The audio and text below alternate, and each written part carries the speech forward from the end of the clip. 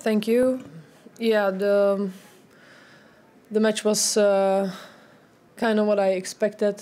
Tricky one. Taylor, I think, played really, really great from the start. The first set was very tough, very close.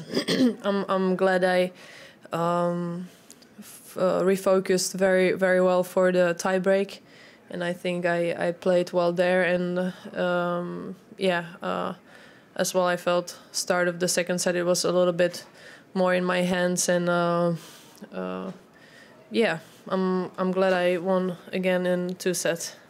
Thank you very much. Questions, Willie? Willie Weinbaum from ESPN. Congratulations. Thank you.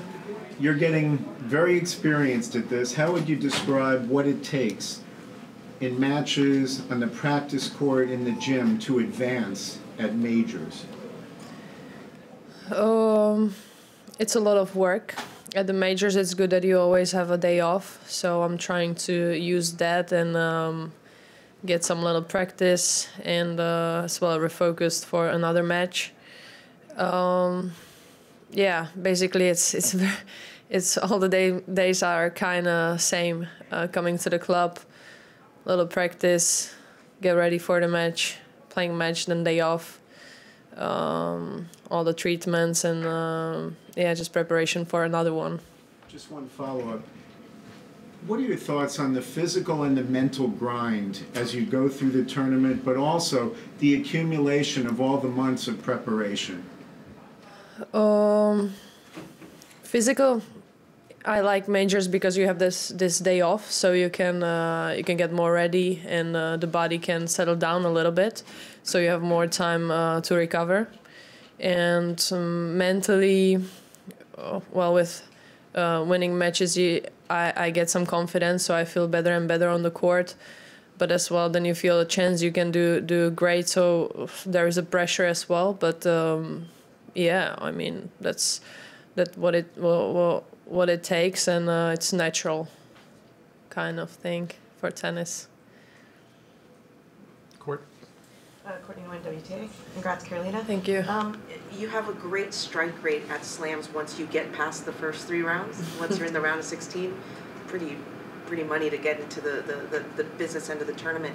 What do you think that is, why do you think that is? Is it like getting the nerves out, getting your rhythm, you're hitting your confidence streak now? Um, I think uh, I think now lately I'm I'm playing pretty solid as well on the other tournaments, and I uh, yeah just uh, I think I have a few good matches under the belt, and that helps. Uh, I feel good on the court, so. Um, yeah, it's always tricky to play the first match of the major or, or of any tournament. But uh, yeah, once you get past that, you feel I feel a little loosen up, and um, um, yeah, I feel I feel great on the court now.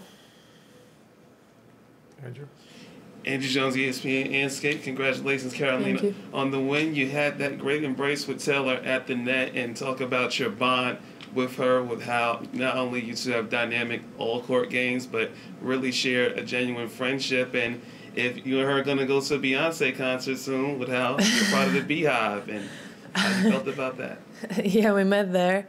Uh, I mean, Taylor is the one I always chit chat a little bit in a in a locker. She's a very nice girl, so um, yeah, we we we talk. Uh, talk just fine. And uh, again, uh, she she has a great game and uh, she's funny. So we we talk here and there, and uh, yeah, that's probably what I would. I would say I, I wish her the best because I like uh, the game she plays. It's very similar to mine, so that's that's what I as well told her at uh, at the net, and yeah, she's bringing the fire now. So I hope she keeps going. And how much did you enjoy the Renaissance tour? Do you have a favorite Beyonce song, and if she needs a guitarist like you in the future? Um, I think all concert was, uh, you know, the Beyonce when she walks, she's she just has that confidence, and uh, um, it was a nice nice show, and uh, we danced a little bit and enjoyed it a lot. So I don't really have a favorite song. We basically.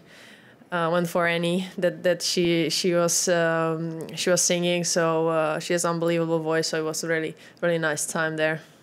Howard. Um, the, I was going to ask about Beyonce, but I'm going a Not anymore. direction. Howard Fendrich for the Associated Press. Uh, We're, we're pretty deep into what is a long season. There aren't a ton of breaks. There's not a big off season either.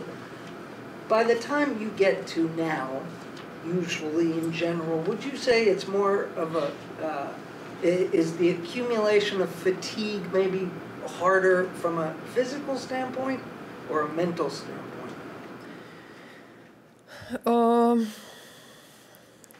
for me personally, uh, I think I'm now like a month on the on the road in America, and uh, uh, for me it's maybe more mental because I really miss uh, miss uh, my home. So uh, yeah, that's um, that's probably what it is. But it's my job, and uh, you know I'm. Uh, here in the fourth round of U.S. Open, so I can't complain. I'm I'm really happy to be here.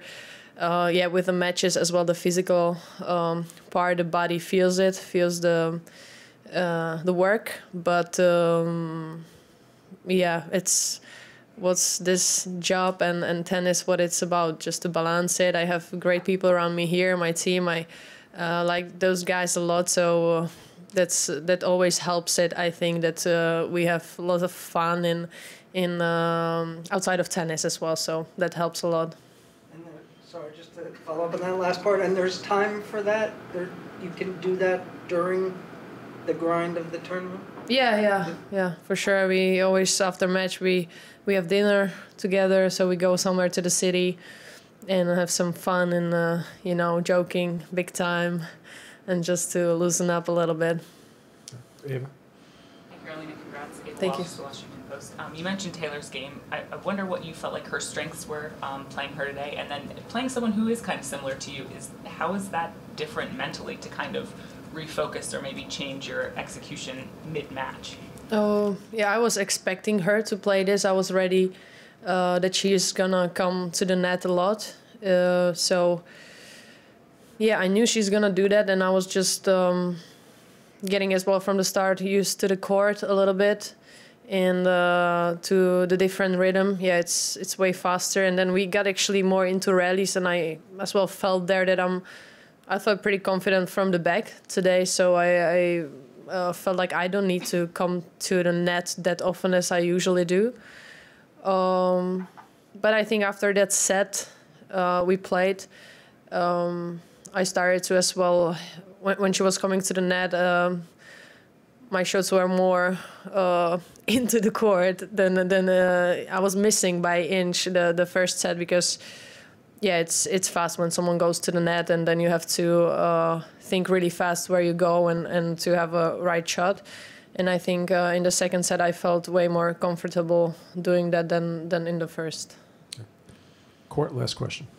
Julia, when you um, you mentioned like kind of um, you were feeling comfortable at the back of the court today and you were you were hitting it well. I'm curious when you take the court or you start a match and certain shots aren't on, right? You realize ah, forehand's not working great or the slice isn't.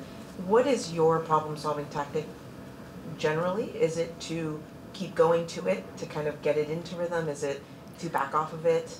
Uh, what- It's for sure to play it more to get the get the right shot, get the rhythm. I know it's it's there. It's not like off, but just to to feel it more and and uh, usually it's just uh, to do everything faster for me because I'm some I'm, I'm a little slow from the start. So for me it's uh, yeah do like a footwork and uh, and go faster as well with a with the arm. So that's usually how I uh, kind of try to solve it.